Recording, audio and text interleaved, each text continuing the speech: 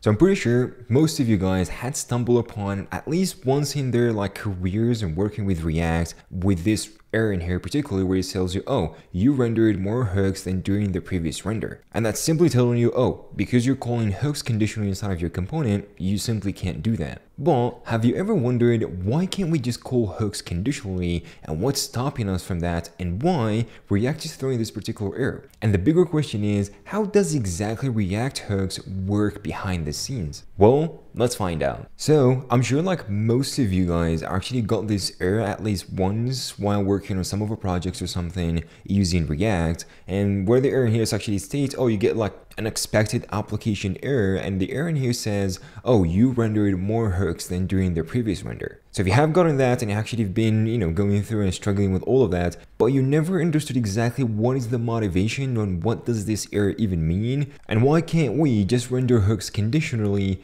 in React? So to better understand that, we gotta first understand how hooks actually work under the hood inside of like the React core and particularly inside of the render process for each component. So for example in here, we got this simple diagram in here that showcases how components actually handle state, particularly hooks inside of the component and how does it manage those hooks. So for example in here, for instance, if you take for example this component number one. So component number one in here has, let's say, has three hooks in here inside of the component. So it uses like use states, like three use states in right? So it uses and it calls three hooks. Now, how does exactly that works behind the scenes inside of React? So React, how does it manage the hooks and how does it call the hooks inside of that component number one? So behind the scenes, each component, each particular component holds an array of its own hooks. So all of these hooks, all of these like three hooks in here, gonna be added into the component hooks array. So it has like the component in here, gonna have an array, and each of that, so it's clear in here, use state one, two, three,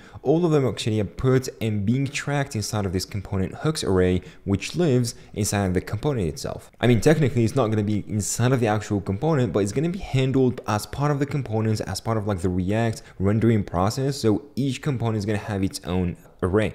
So using array in here is going to simplify the process of how the component would know which hook to call like every single time it re-renders or every single time you trigger a state, state change or something like that. So what it keeps track of, it has like an index in here called the current hook index, which keeps track of the current hook, like the index or the order of the current hook that will be called. For example, in here, because we have got these three hooks in here inside of our component, so what does exactly happen inside the component itself? They're going to be having a particular order. So like first hook, second hook, and third hook. So all of them should have a particular order in here, and the order in here is going to be saved inside of the component and going to be tracked using a particular variable to know exactly exactly which hook to call the next time it re-renders. And as simple as that, this is actually how hooks actually work behind the scenes inside of components and how each component knows which hook to call depending on the rendering process and what state change. It uses actually an index and it keeps track of all of those, calls the specific hook that changed. Now, this is a simplified version. Of course, it's a lot more complicated than that behind the scenes inside of like the React core and the rendering and everything.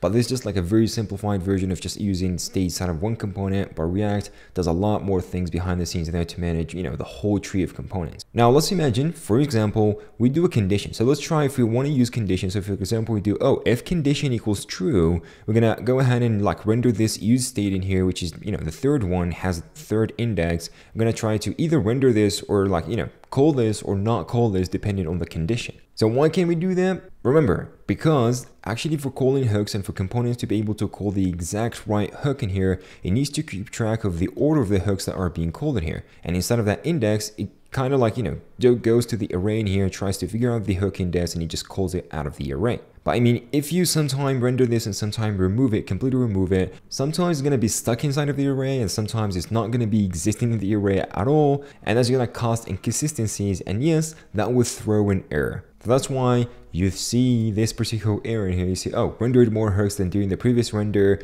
or something like that. So sometimes you render more, sometimes you render less. So that's basically why we see this exception. So to better understand this, let's go ahead and look at how React usually just renders hooks in hand. Just let's take a quick for example. For example, in here, we got three states in here, as we did before in our example. One that holds, oh, allow navigation, one to show more details, and one to index of the current sculpture. So here, what we're doing is just basically going through a list of like sculpture list in here, which has like a name, an artist name, a description, a URL of an image, and that's it. And we're gonna use the index that is being kept on this state on top in here. So right over in here in here, basically to go ahead and look inside of the sculpture index and actually grab the sculpture and eventually just render the details. And of course, using some buttons in here and just like stuff like that, it's going to allow us either to, you know, move to the next article and we're going to say, oh, if allowing navigation, we're going to allow the user to move to the next article and so on and so forth. So this is exactly what it looks like. This is actually our example. We have like, oh, allow navigation. You can show details in here, but if you allow navigation, you can move between articles in here, which is just simply increasing the index inside of the state itself, or you can completely disable that. Now, let's say for some really weird reason in here, we decided that we want to, oh, we want to use allow navigation here. We want to just like, depending on that,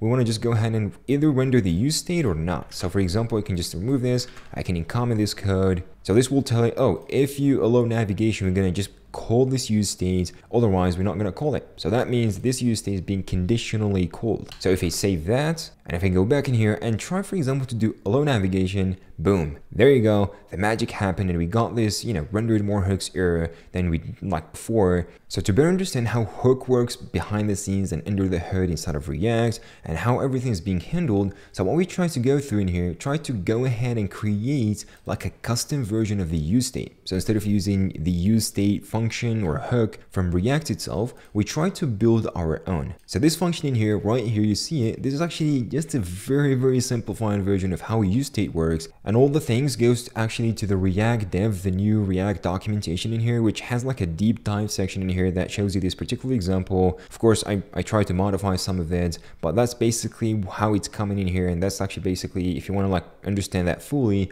I really advise you guys to go ahead and look into that. Now, if you go back in here, so try to understand exactly the code in here, just quickly go through it. So we got a use state in here that's going to take initial state, the same thing. It's going to return the actual state and an actual function, a setter function. So here we have the handling the state. Actually, we recall stuff and do a bunch of things. And if we just go in here, we have like a gallery. So this is actually our component that utilizes the use state we have on top, our custom own build use state in here. And you have like some functions functions in here. And for the rendering in here, because of course we're not using React, so we're trying to do is actually mimic how React actually works in JSX by providing vanilla DOM manipulation methods in here. So we just basically provided like, you know, handler methods in here. And we've got a function called update DOM this function here is going to call a component every single time and this one is just actually going to go ahead and bind those like allow navigation button which are like the buttons using get elements id so we're just trying to access this from the DOM itself and we just try to bind those on clicks to you know whatever the output is being returned from the gallery method or component and we just make it to work as it is in here. And of course, inside of the HTML, we just, so we're putting the actual HTML elements in here inside of, you know, the HTML because we're not longer, we're no longer using React. So we can't render that using React. So we're just trying to mimic how React works. So that's basically why we're doing it this way. And of course, we're simply just calling this hooks use state. And because it uses DOM vanilla methods to manipulate everything, it's just going to work. So if I go home in here and if we try to look at it, so this is actually example. So if we go ahead and click on um, show details, details. We're to see the details in here. And if we try to go through like a little navigation, for example, so this actually we get that working perfectly. If we move to the next article, it works. So simply to understand how this custom use state works just briefly. So what we have in here, we have component hooks, which is our array where we're to store all the hooks for this particular component. We've got the current hook index to be able to know which hook we're to call next, like on the next render. So simply in here, when we call use state, we're to use the initial state in here. I'm to first check if the pair is actually inside of the array or not. So if it is inside of the array, I'm just to immediately return the pair by increasing the current hook index because, you know, we're to call it the next time for the other one. Otherwise, if it doesn't, and it's actually the first initial render, we're to just go ahead and create a pair. So going to put initial state, I'm to put the set state in here, which is a function that's to call the update DOM. Remember, the update DOM is the one that actually just binds like everything in here to like on click and it binds it to, you know, the on click we have from our component and it puts like the src of the image the you know text contents of the, the, particular button in here and so much more. So this particular part in here is usually just handled by react but of course because we're not using react so we have to you know mimic that way as well So we update the in here and also we make sure to put the actual next state because we're setting a state in here. So we have to update the state in here on the pair that we already have in here inside of the array itself. And of course, here we're going to uh, be able to go and install the pair for the future renders and prepare for the next hook call. So we simply put the component hook with the current index, we put the pair inside of that one, and we increase this one for the next render or for the next hook. And eventually, we just return the pair. And of course, inside of a, a like custom made component here, we can call use state, we can just give it a, you know, the initial state in here, and we're to have the same pair. We're to have the value and the state index, the same way how use state usually works from React. And that is to give us something like this, where everything just works seamlessly like it was used in React.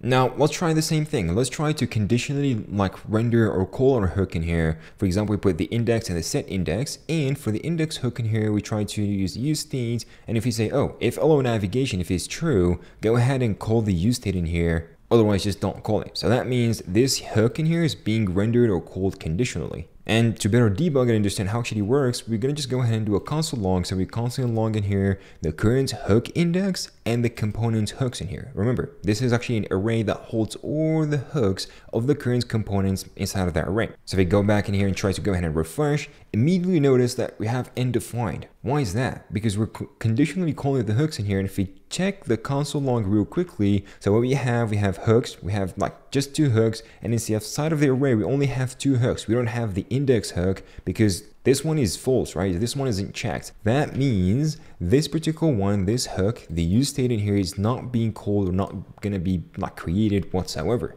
So when we try to allow navigation, now it works, right? It renders, we can just go in and do like show details and you can see the details. And for the logs in here, it tells you, oh, you have got three hooks. And the third hook in here is actually the one that holds the index. And if we just go ahead and, you know, move between the articles in here, the index is gonna change in here inside of the hook as well as like, you know, the state in here. But as soon as we just, you know, remove that one, it completely becomes end of line. So that's exactly the issue that React tries to prevent from happening when you just conditionally render hooks. So if you just allowed conditionally rendering hooks for us, there's actually what you're going to see. You're going to see undefined. The application is going to be having so much exceptions. The application state is not going to be logical and it's not going to flow the same way it would do like when we have it this way. And everything would be super messy. And let's say as a bonus, we want to actually, in our custom use state in here, we want to throw the same error in here, hooks are being conditionally rendered. How can we do that? So inside of the use statement here, what we can do, we can add a simple if statement in here